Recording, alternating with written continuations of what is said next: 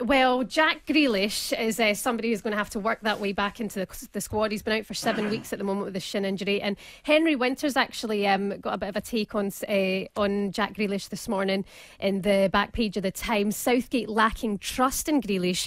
The People's Prince, he says, the People's Prince Grealish has yet to win over Southgate, and this is sure to be long-running narrative until they're through the Euros and probably beyond. Does Southgate trust Grealish? What do you think?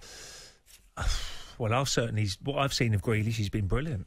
Um, you know, when he's got the ball, he's he's really hard to mark, isn't he? He's, he's always, you know, he wants the ball on a half turn. He's, he wants to go forward, create chances. It's not the first time we've asked this question, though, is it? I know. Ray? is it a personal thing? And the other one is Maddison. Yeah. Does he trust Maddison? I think Mount is. I know, look, you're playing San Marino, and you, you, you expect to have a lot of the ball, and but I think Mount's done really well as well. Would you I have he- Grealish he'd in be- your starting I think 11 he'd be in front if- at the moment, Mount. Yeah. Uh, be ahead of Grealish?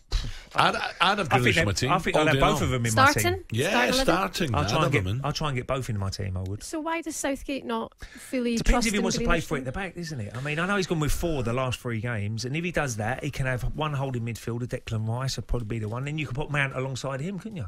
As a bit more deeper, and then Grealish in front of him. And and, and to be fair, then it's all about using your common sense. If Mount run part, runs past Grealish, he just sits back in. Do you remember? into- Every, everyone was crying for Grealish, wasn't they? Hmm. And when he got in, did he let them down? No, he didn't. He was great, wasn't he, for England?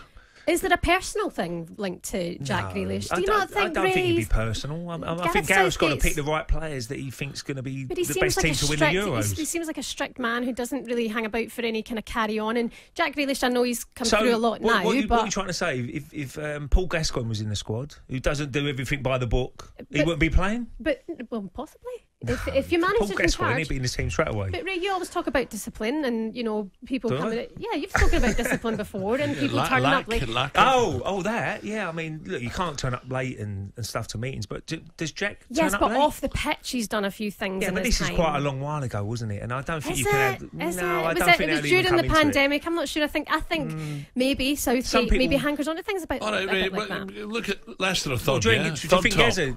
Um, just go back to Gazza. Would, would Gazza? Would, if Gareth Southgate was manager of England and Gazza, look, we all know what he gets up to at certain times. Then- then no, I don't would he, think he would would. he be playing for I'm, England? I'm, I'm a Yusha man, I'm not sure. I don't think he would be. No, Serious? I'm- I'm You can. Uh, No, I think Gareth is very the- strict. You More put the than best players in. I think he's very strict. Look, he's the manager, so he's entitled to do what he. Know, likes. But he, he's, he, I think he's very strict.